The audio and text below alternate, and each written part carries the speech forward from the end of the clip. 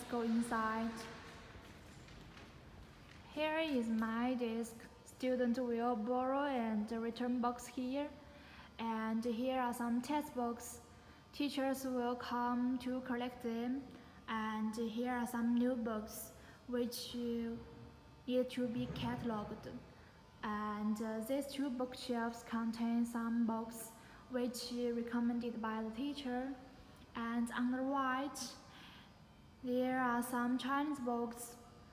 We have about uh, 30,000 Chinese books here and uh, 12,000 English books here.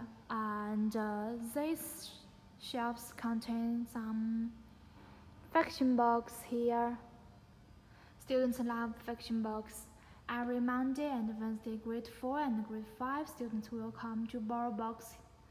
And uh, these two bookshelves contain non-fiction books. Sometimes science teacher will ask the students to borrow some non-fiction books. Yes. And uh, here are classroom resources.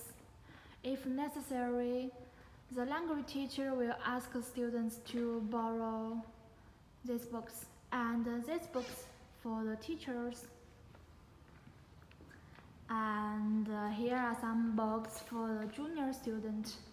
And uh, these bookshelves contain some leveled uh, books, level 1 to level 5. And uh, on this bookshelves contain some foreign language books, include uh, Korean language books and Spanish language books. And uh, these tables are for students.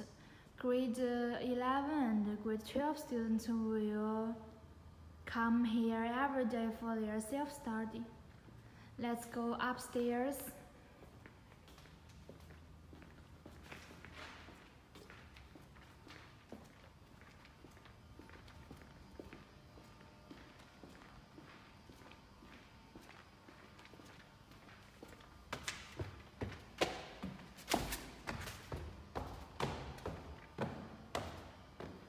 Have nine computers and a printer for students.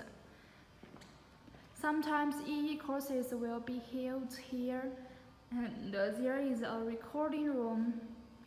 Our school has brought three databases including Britannica School, JSTOR, and uh, Gale School. This is what our library is